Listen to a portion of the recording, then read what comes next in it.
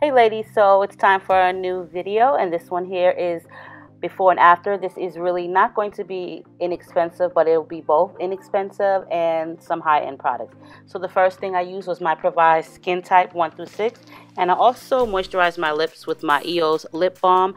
And to prime my eyelids, first I like to use the LA Girl Pro Prep Facial Primer. Now I'm going to be using the LA Girl eyeshadow primer in the color nude just to make those eyeshadow colors that I'm about to apply pop. So let's get into that with a little scotch tape, which will help make a crisper line. It'll help the eyeshadow stay in place and not really stay in place but not fall out. So one of my new products is the Too Faced Natural Matte Palette. And the first thing I'm going to use is the chocolate cookie color here. I'm going to take that Sonia Kashuk brush and just sweep that all over the upper portion above my crease on my lid. This is a really color brown. It's a great transition color and you can basically find this color anywhere. It doesn't have to be by Too Faced, but this was part of my Valentine's Day gift, so I decided to use that. Now I'm going to go into the color called Heaven in that same palette, and that's just going to be my brow highlight. Normally I'll use a darker color like an off-white or eggshell or like a matte kind of beigeish color, but I'm going to go ahead and use the color in the palette. The next color I'm going to be using in this awesome palette is called Honey Butter. I really wasn't like a huge fan of that Heaven. I don't really like my highlight under my brows to be too bright, so I kind of toned it down. Now, one of my favorites from Walmart is the Drew Barrymore collection, and this is the Flowers Cosmetic. So I'm going to be using the eyeshadow cream called Wild Geranium, and I'm just going to place that all on the lower portion of my eyelid with one of my Sonia Kashuk brushes. And this is just basically going to act as a eyeshadow primer or you can use it just as an eyeshadow primer or you can also use it as just an eyeshadow. Now I'm going to actually use my Laura Geller Blush-N-Brighten Blush in Sunswept and I'm going to use that on my eyelids. It's blush, it's makeup, you can use it wherever you want. You don't have to just use it as blush. But it's a really pretty color. I just picked it up from Ulta and I thought it would be great for the look that I was going so I decided to use that as an eyeshadow as I've done this so um, in a couple videos ago with the e.l.f. blush. So I just placed that all over the lower portion of my eyelid and I'm going to go ahead and brush it in so there's no harsh lines. I just want it to look sun swept just like it's called.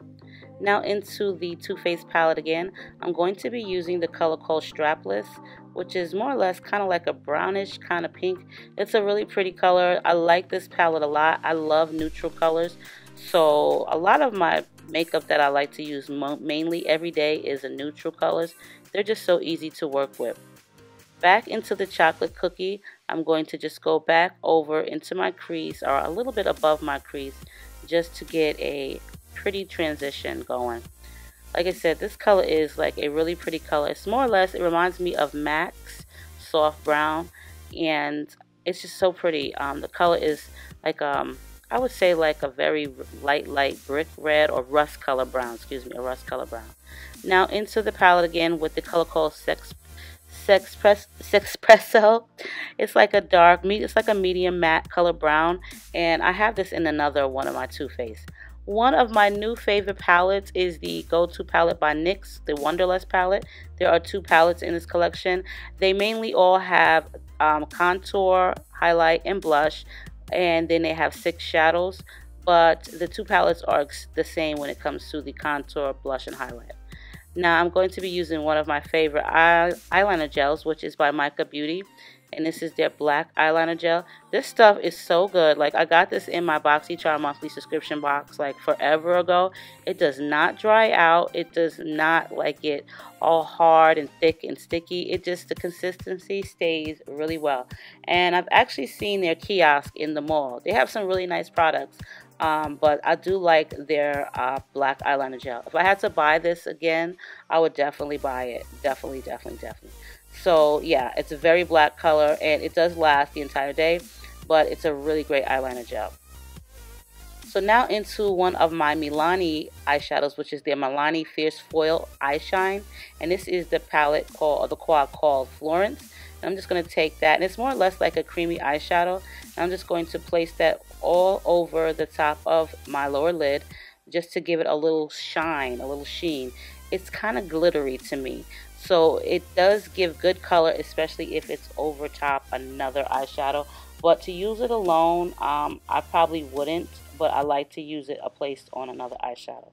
Now it's time for my face, and I'm going to go back into that LA Girl Pro Prep HD Facial Primer.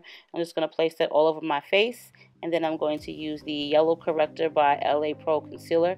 Um, LA Girl Pro Concealer. I love this concealer, um, especially the yellow. This is the only one I really use, and it's really good for brightening up underneath my eyes.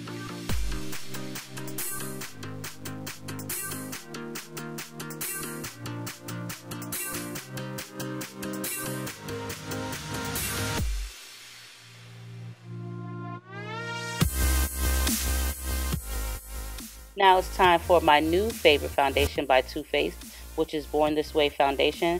And I use the color Honey. I'm going to place only a pump and a half on the back of my hand and just place that on my face and blend it in with my flat buffer brush by Sedona Lace. I love their makeup brushes. They are like the absolute best brushes, especially if you want like some high-end brushes but you don't want to pay a lot. I would highly suggest getting the Sedona Lace. I'll place a link in the description box below.